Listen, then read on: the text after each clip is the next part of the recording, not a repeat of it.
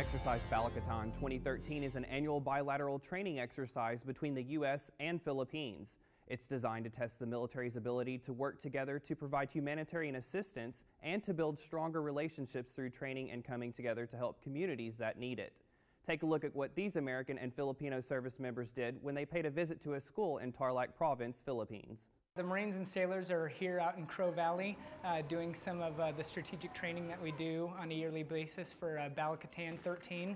One of the things that we look forward to the most is being able to spend time with the kids in the community and the schools and giving back.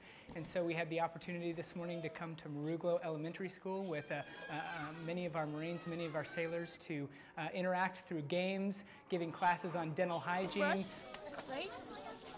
And then you want to brush your teeth in an up and down circular motion, like this.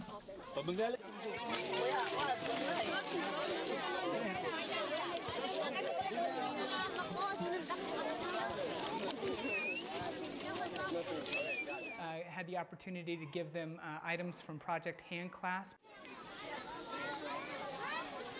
Marines, uh, they are giving us books, uh, hand sanitizer. I'm going to provide you with. Uh, uh, We are very lucky for them to, to be here for this moment because they show us the love and how they deal with the children. We all have a, a passion uh, to serve this community, serve these kids uh, uh, together uh, in unison, and I think they uh, they received this well. Uh, we had fun, and, and they're still going. I think they actually uh, out outran all the Marines uh, and, and sailors out there. They're they're all tired, and the kids are still going.